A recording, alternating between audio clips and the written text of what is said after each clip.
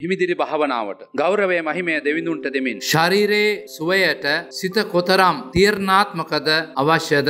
සිත දුකින් කලකිරීමෙන් අසතුටෙන් අසමාධානයෙන් කෝපයෙන් රෝධයෙන් වෛරයෙන් උඩුඟුකමින් තිත්තකමින් මින් එකකින් හෝ කීපයකින් පිරී තිබෙයි නම් රිජුවම ශරීරයේ සුවයට බලපෑම් කරයි. තරමක රෝගය දරුණු තැනට ගෙන එයි. සිත ප්‍රීතියෙන් නම් සැහැල්ලුයි නම් සමාධානෙන් පිරිපුන් නම් ප්‍රේමය කරුණාව යහපත්කමින් පිරිලා නම් රෝගය කොයිතරම් භයානක වුවත් සුවය කරා ළඟාවීමට ගතවන්නේ අල්ප කාලයකි. ප්‍රකෝටිපති ධනකුවේරයෙක් ලෝකයේ සිටියා. තෙල් සමාගමකට හිමිකම් කීව. වයස තිස්පහ වන විට ඔහු ධනකුවේරේ. එනමුත් පනස් දෙකේදී දරුණු රෝගයකට මැදි වුණා. වෛද්‍යවරු නිගමනය කළේ සතිහයයි ජීවත් වන්නේ යනුවෙන්. ඔහුට සිටියේ සතුරන් පමණයි. ඒ ඔහුගේ මසුරුකම නිසාය. සිදු වූයේ කුමක්ද. දේව වචනය කියවන්නට ලැබුණා. සිත නැවතුණු තැන ගැනීමට වඩා දීම ආශිර්වාදයක්ය. ක්‍රියාවට නැංවූවා. වචනයට ප්‍රේම කලා වචනය තුළ ප්‍රීති වුණා. සිත වෙනස් වෙන්නට ගත්තා.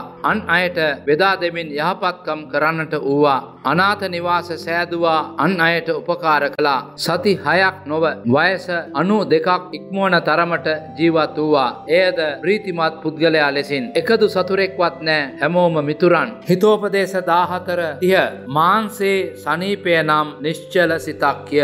අදටත් වලංගුය ඔබටත් බැරි නැතය.